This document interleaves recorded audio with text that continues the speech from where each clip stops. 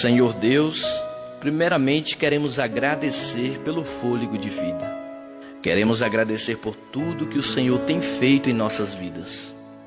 Obrigado, meu Pai, pela vida, pela saúde, pelo alimento de cada dia, Senhor. Obrigado pelo livramento a qual o Senhor nos dá a cada instante.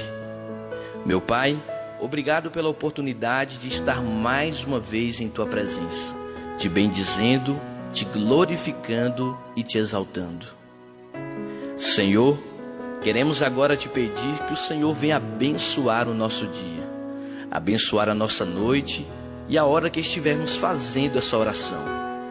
Senhor, venha abençoar nossa casa, a nossa família com toda sorte de bênçãos do Senhor. Meu Pai, nos livra das armadilhas do diabo, nos livra de tudo aquilo que ele tem preparado para mim e para cada